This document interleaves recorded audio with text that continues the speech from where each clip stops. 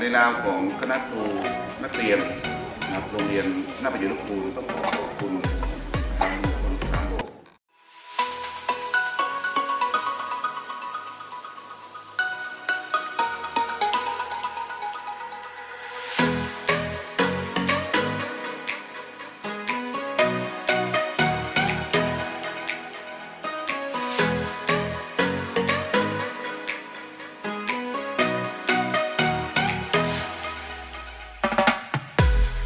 สมศักดิ์ศรี